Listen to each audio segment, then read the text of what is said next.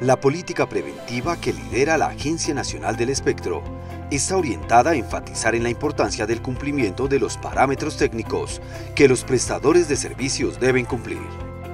En este sentido, la entidad realiza visitas educativas a proveedores de manera aleatoria, con el fin de llevarles el contenido técnico en cuanto cómo deben operar y cómo apropiarse de los cuadros técnicos, ya que en muchos casos el incumplimiento obedece a que no existe total comprensión de las políticas.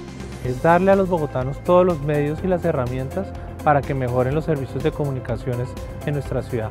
Y precisamente en ese contexto estamos trabajando con la ANE para que pueda ser esta entidad la que comunique a las empresas, a los gremios y en general a la ciudadanía bogotana los beneficios que tiene la labor de administración del espectro que ella tiene.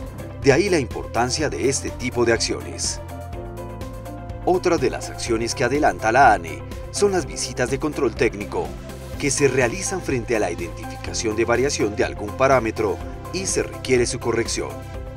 De esta manera, se educa al prestador, se evitan sanciones y se promueve el uso eficiente y legal del espectro. El trabajo de vigilancia y control que se realiza desde la ANE está sujeto a los datos que arrojan las estadísticas. Entre las variables se encuentran los lugares del país en donde hay mayor clandestinidad o donde existe un reporte importante de PQRs, al igual que requerimientos para ajustes.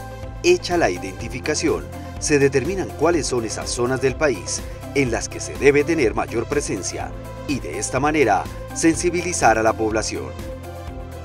Las conferencias y charlas sobre los temas de interés también se hacen por solicitud de las empresas interesadas. Estamos convencidos que con una muy buena comunicación entre el gobierno nacional y el gobierno territorial vamos a poder darle más información a los ciudadanos, a los empresarios y en general a todos los interesados sobre el aprovechamiento y el uso eficiente del espectro. Es importante agregar que cualquier ciudadano puede acceder a la información del uso del espectro.